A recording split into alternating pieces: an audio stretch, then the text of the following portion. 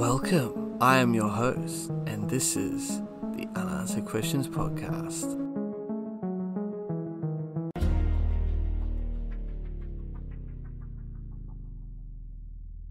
Hello, everyone, and welcome to another episode of my new podcast, Unanswered Questions, where every week we will endeavour to discuss a mysterious unsolved case that has many lingering unanswered questions. So I hope you enjoy, and as always, leave me some feedback on what you think about the show and rate it as well. Now, on to the show. This week we'll be talking about Chuck Morgan. So, 39 year old Chuck Morgan was a successful businessman who was the president of his own escrow agency. He was also a potential witness in a state land fraud case involving a known crime boss. On March 22nd of 1977, he left his Tucson, Arizona home to drive two of his daughters to school. After dropping them off, he vanished. Three days later, he arrived back at his home, and according to his wife Ruth, he was missing a shoe, had a plastic handcuff wrapped around one ankle, and had his hands tied together with a plastic zip tie.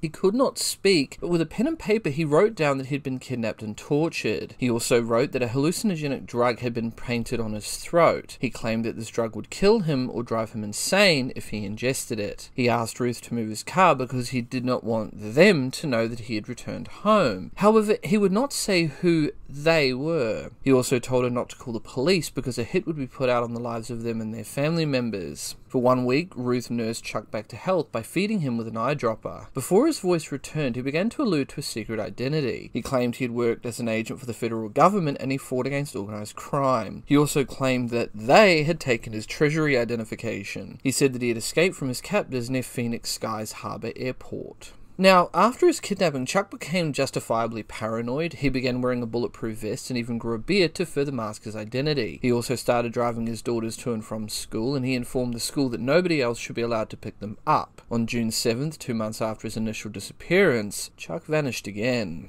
Shortly before his second disappearance, he told his father that if anything were to happen to him, there was a letter he'd written that would tell him who was responsible. Now, that letter was never found. However, nine days later, an unidentified woman called Ruth and said, and I quote, Chuck is all right. I'm going to butcher this next name. Ecclesiastics 1218 End quote. This is a reference to a Bible passage which reads in part, and I quote, Men are afraid of a high place and of terrors on the road. Remember him before the silver cord is broken and the golden bowl is crushed. Then the dust will return to the earth as it was, and the spirit will return to God who gave it. End quote. Two days later, Chuck was found shot to death despite the fact he was found wearing a bulletproof vest. His body was found in the desert 30 feet off the highway in the San Juan Springs area. He had been shot once in the back of the head with a bullet from his 357 Magnum, which was lying beside him. Interestingly enough, no fingerprints were found on the gun, however, gunshot residue was found on his left hand, indicating he had fired a weapon. In his car, police found a note that had directions to the crime scene written in his handwriting. Also found in the car were several weapons, ammunition, and a CB radio. Strangely, a piece of one of his teeth was found wrapped in a white handkerchief in the back seat. A pair of sunglasses was also found that did not belong to him. Strangely, Chuck had clipped a $2 bill inside his underwear. Written on the bill were seven Spanish names from the letters A to G. Also, that biblical quote from, and I'm going to butcher this name, Ecclesiastics 12 was written with the verses 1 through 8 marked by arrows drawn on the bill's serial number.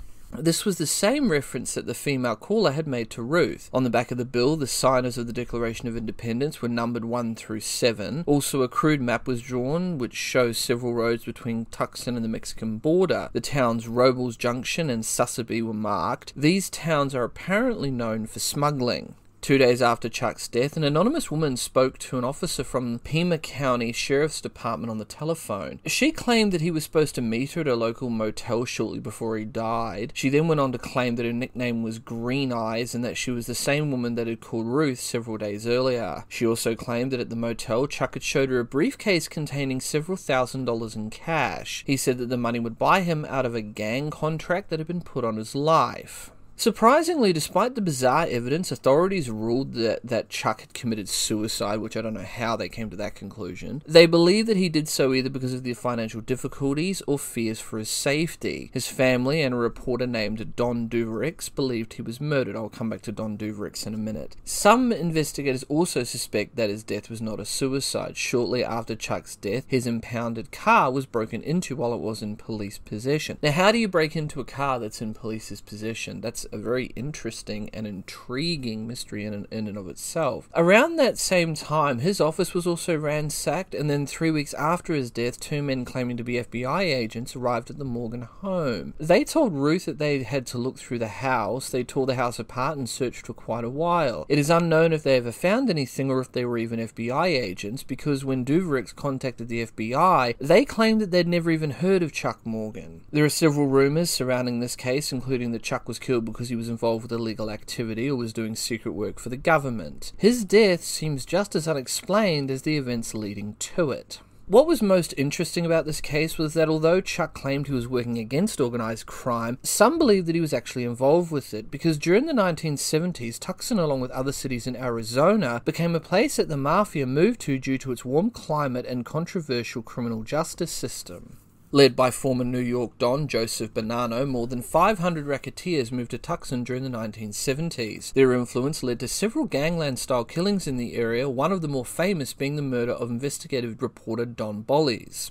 Now, Donald Fifield Bolles, born July 10th of 1928 and died on June 13th of 1976, was an American investigative reporter for the Arizona Republic who is known for his coverage of organized crime in the area, especially by the Chicago outfit. His murder in a car bombing was suspected to be mob related, but was later found to be connected to his reporting on land fraud schemes by local contractors.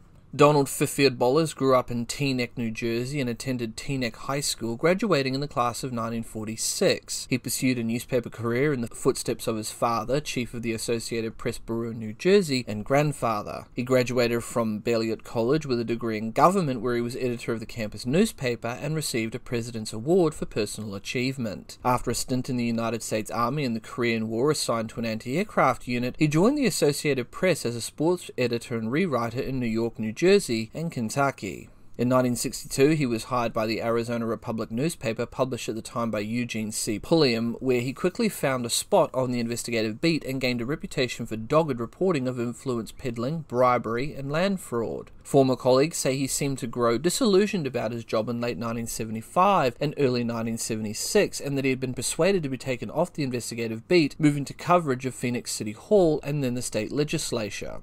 Bolles was the brother of Richard Nelson Bolles, author of the best selling job hunting book What Color Is Your Parachute? He shares a grandfather, Stephen Bolles, with humanist theoretician Edmund Blair Bolles. He was married twice and had a total of seven children. On June 2nd of 1976, Bolles left behind a short note in his office typewriter explaining he would meet with an informant, then go to a luncheon meeting and be back around 1:30 p.m. He was responsible for covering a routine hearing at the state capitol and planned to attend a movie with his second wife, Rosalie Cassie, that night in celebration of their eighth wedding anniversary. The source promised information on a land deal involving top state politicians and possibly the mob. A wait of several minutes in the lobby of the Hotel Clarendon, now known as the Clarendon Hotel, was concluded with a call for Bolles himself to the front desk, where the conversation lasted no more than two minutes. Bolles then exited the hotel, his car in the adjacent parking lot just south of the hotel on 4th Avenue. Apparently, Bolles started the car, even moving a few feet, before a remote control bomb consisting of six sticks of dynamite taped to the underside of the car beneath the driver's seat was detonated. The explosion shattered his lower body, opened the driver's door, and and left him mortally wounded while half outside the vehicle. Both legs and one arm were amputated over a 10 day stay in St. Joseph's Hospital. The 11th day was the reporter's last, as his injuries were too grave to survive, and he died at age 47. However, his final words after being found in the parking lot the day of the bombing included John Adamson, Emprise, and Mafia, and he had left a note by his typewriter reading, and I quote, John Adamson, lobby at 1115, Clarendon House, 4th Clarendon. End quote. The San Francisco Examiner on October 20th of 1976 reported that Maricopa County District Attorney Donald Harris said a conspiracy by the county club set was more than likely mafia involved in the June 2nd bombing that fatally wounded Bolles. The mob doesn't kill cops and reporters. This is not a mafia case. The article stated Bolles 47 frequently wrote about land fraud. His stories eventually resulted in passage of an emergency legislative bill opening blind trust to public scrutiny. Emprise referred to the New York based horse and dog racing company of the same name, which he had written articles about. Bolles identified Arizona resident John Harvey Adamson by photograph while hospitalized, and Adamson's former lawyer, Mickey Clifton, informed the police of Adamson's involvement in the bombing. According to trial testimony, Adamson had gone to San Diego with a girlfriend and purchased the electronics for two bombs. Police searching his apartment later found the electronics for one bomb. Also, according to trial testimony, Adamson early on June 2nd went to the Arizona Republic employees' parking area and asked the guard which car belonged to Bolles. The incident sparked an investigation by investigative reporters and editors, resulting in a book titled The Arizona Project, with Robert W. Greene assuming the head and drawing nearly 40 reporters and editors from 23 newspapers, including the Milwaukee Journal and Newsday.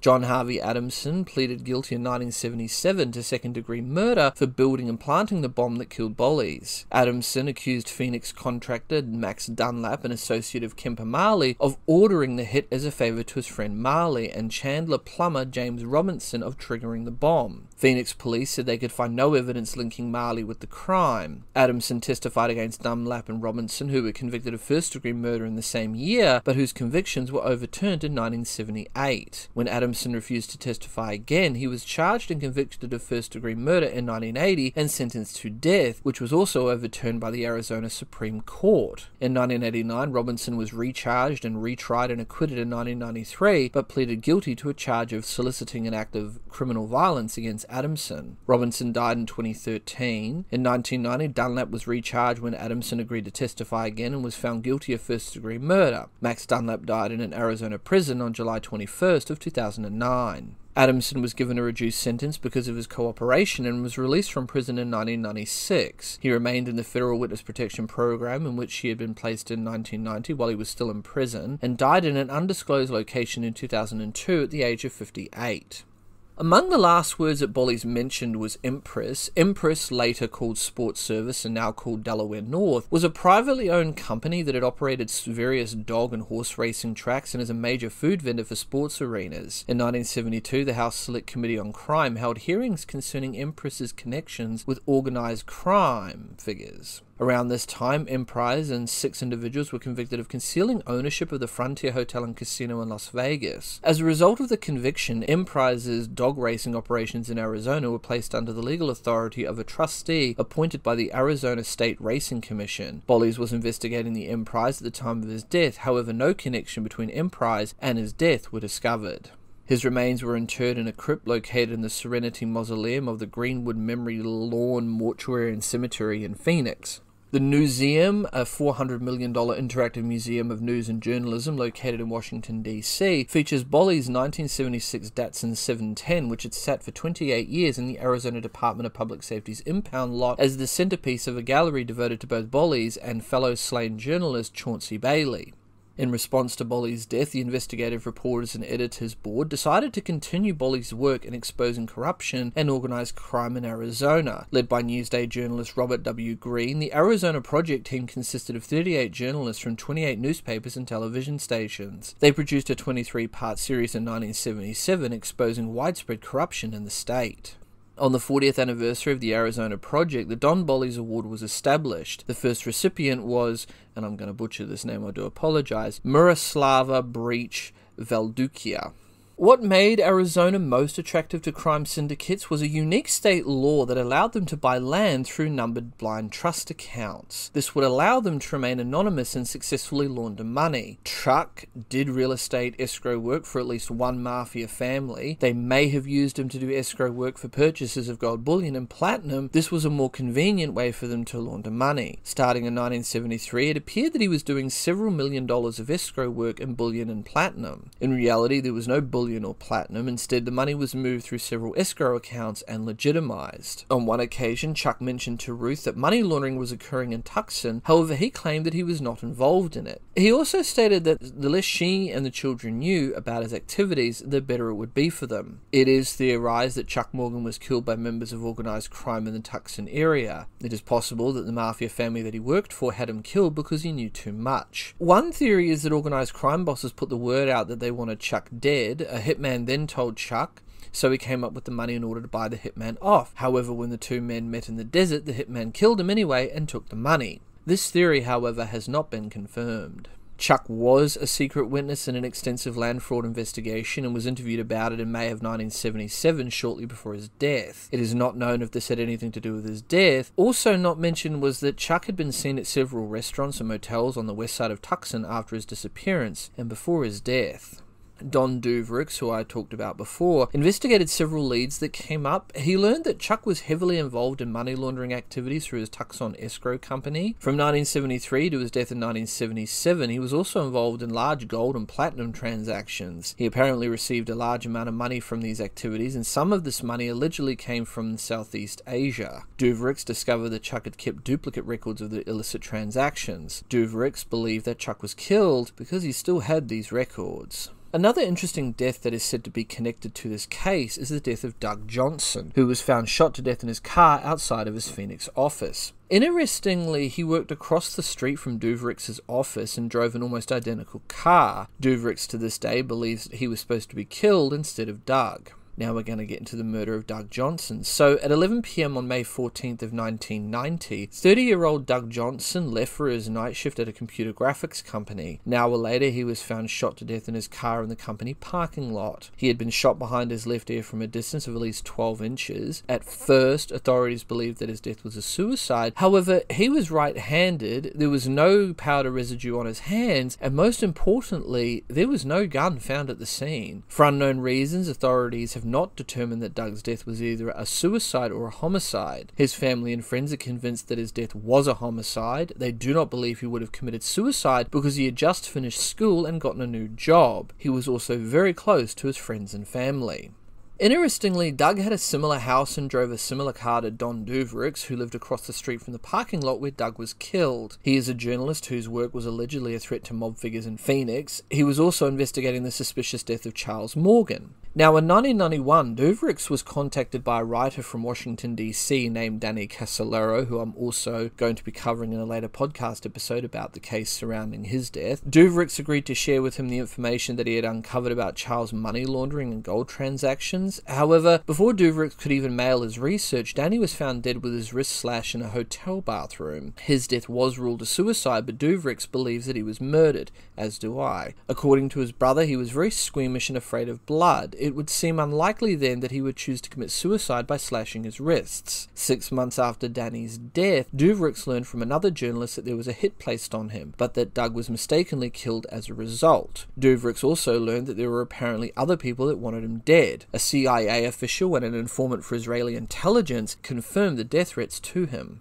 Devereux is certain that Doug was mistakenly killed as a result of a botched hit that was meant for him. His murder, along with the deaths of Charles and Danny, remain unsolved. No evidence of robbery was found at the scene, and many believe that Doug was killed after he was mistaken for Devereux. It is believed that Devereux was targeted for his investigation in Charles's case. Sadly, Chuck's widow Ruth Morgan died in 2006. All the cases I've mentioned also remain to this day unsolved.